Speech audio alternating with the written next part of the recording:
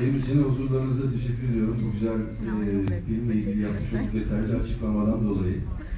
Sağ olsun. E, güzel, Rotterdam'ın güzel insanları. Hepiniz hoş geldiniz.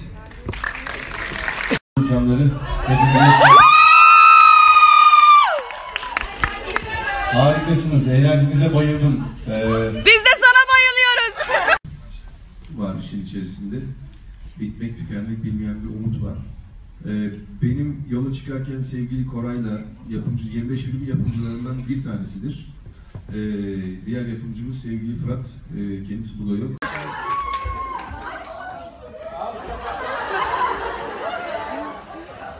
Güzel Rotterdam'ın güzel insanları. Hepiniz hoş geldiniz. Harikasınız. Enerjinize bayıldım. Ee, Hepinize teker teker sevgiler.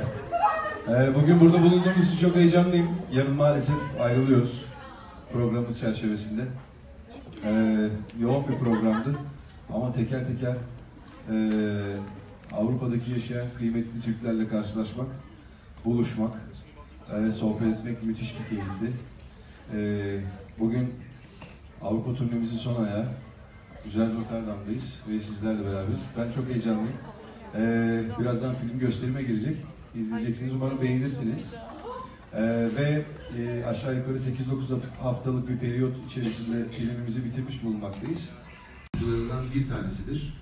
Ee, diğer yapımcımız sevgili Fırat. Ee, kendisi burada yok. Ee, filme başlarken şöyle bir e, konuşma yapmıştık aramızda.